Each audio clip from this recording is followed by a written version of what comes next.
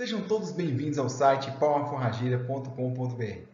Hoje nós vamos conhecer, na prática, quais são os principais métodos e tecnologias associadas à colheita da palma forrageira. Podemos manter o coador de primário? Podemos manter o coador de secundário? Quais são os níveis? Mantém-se quantos para formar a usina da planta? Todas essas técnicas, detalhes e descrição da planta nós vamos conhecer através de uma aula de campo com o professor João Abel, do Instituto Federal Baiano. Além disso, nós vamos conhecer as principais formas de adubação orgânica e mineral e como essas podem ser conjugadas no intuito de obter maior eficiência para o cultivo dessa cultura. Toda essa dinâmica de como colher e de como adubar será apresentada então em campo pelo professor. Vamos juntos? Vamos falar um pouquinho sobre o processo de colheita. Eu entendo que o processo de colheita é, além da colheita, é um trato cultural que é a hora que você dá uma limpeza na área, tira todas as cochonilhas junto com as raquetes que você colheu e cria a condição para uma pulverização. A colheita drástica ela tende a limitar a capacidade de sustentação da planta mãe, consequentemente ela diminui a longevidade da planta. Colheita drástica que eu falo é essa situação onde você deixa apenas a planta mãe.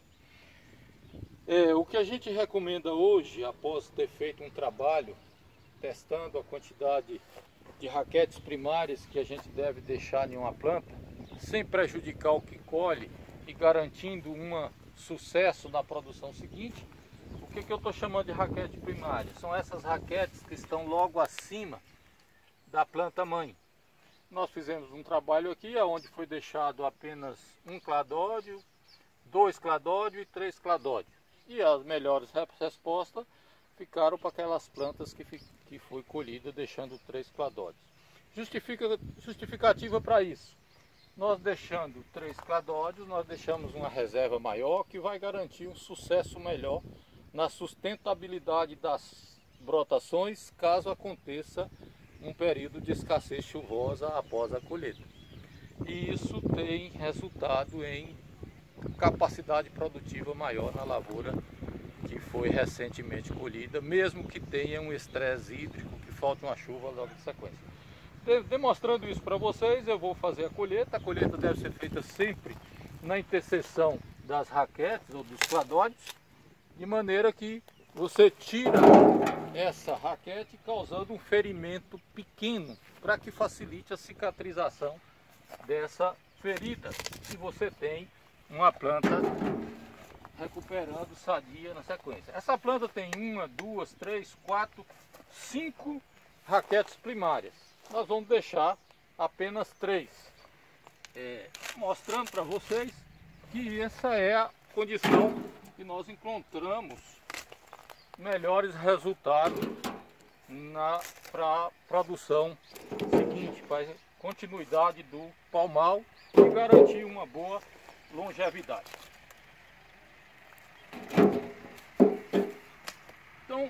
Essa é a colheita que a gente recomenda.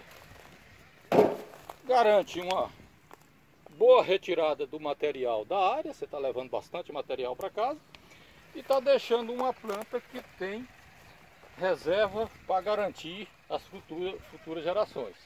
Mas existe também outros tipos de colheita, onde é feito deixando as raquetes secundárias.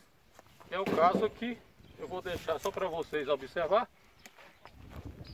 É, essa é uma outra situação que pode ser feita. Colhe-se todas as raquetes acima da secundária, deixa-se a raquete primária e deixa-se as raquetes secundárias para uma futura geração.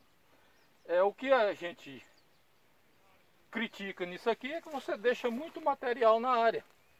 Se você imagina que uma raquete dessa pesa um quilo, e se você deixa duas raquetes em cada planta, a hora que você terminar de colher uma lavoura que tem 40 mil plantas, você está deixando 80 mil quilos para trás.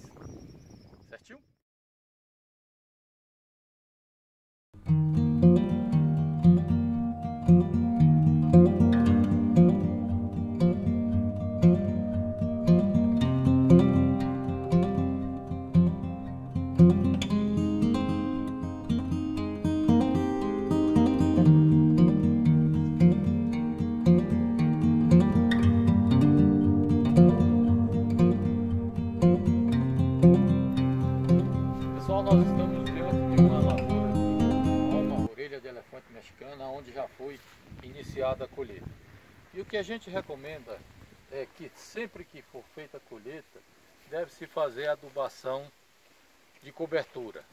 Nós estamos em uma lavoura irrigada, onde a adubação de cobertura pode ser feita em qualquer momento, já que você vai irrigar na sequência. É, nesse processo de colheita foi deixada apenas a planta mãe. E nós vamos fazer uma adubação para revigorar essa planta para ela ter uma energia maior e garantir uma boa produtividade. A nossa recomendação de adubação química é normalmente estabelecida diante de uma análise de solo por uma recomendação técnica. E nesse processo a gente faz a distribuição do adubo, normalmente parcelado em até duas vezes é, logo após a colheita, no início da brotação dessa lavoura e 45 dias após essa aplicação. Aqui o nosso acompanhante de campo vai fazer uma distribuição do adubo químico, evitando sempre é, que esse adubo fique muito próximo à planta colhida, tá certo? E na sequência nós vamos incorporar esse adubo químico com a adubação orgânica. Quando você vai para uma área de sequeiro, essa coisa muda de figura. Se a lavoura já é estabelecida, à medida que você faz a colheita, você leva uma carrada de palma para fornecer os animais, na volta você já traz uma carrada de esterco para pôr na área. Pode ser carroça, pode ser carriola, pode ser carreta. O ideal é que você já vai fazendo essa adubação à medida que você vai colhendo a sua lavoura exatamente para facilitar os tratos culturais que nós não conseguimos entrar em um palmal dessa maneira para fazer uma adubação de cobertura. Então tem que fazer na hora da colheita. Se é uma lavoura que foi instalada recentemente, o que se espera é a primeira brotação. Assim que vem a primeira brotação, você espera um período de chuva e faz a adubação de cobertura com adubo químico. Na sequência você faz a adubação de adubo orgânico, parcelado também em duas vezes esse adubo orgânico com a função de cobrir o adubo químico e de incorporar o adubo químico. Já se a lavoura é de sequeiro e é estabelecida há muito tempo, deve-se fazer as adubações de acordo com a colheita for andando, adubação orgânica. E a química nos períodos chuvosos, normalmente espaçado pelo menos 30, 40 dias uma da outra e sempre no período chuvoso. Vamos fazer a demonstração da adubação química e orgânica na lavoura irrigada.